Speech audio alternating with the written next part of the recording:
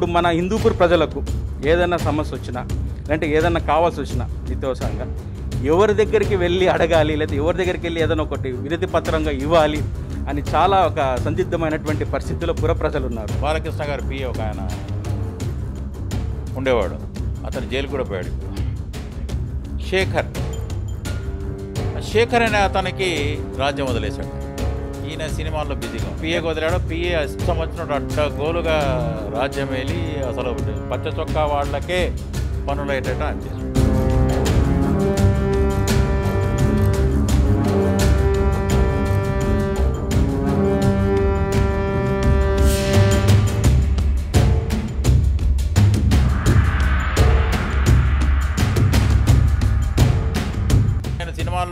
Cinema flop అయింది ruler తర్వాత బోయపాటితో ఎట్లా హిట్ కావాలి?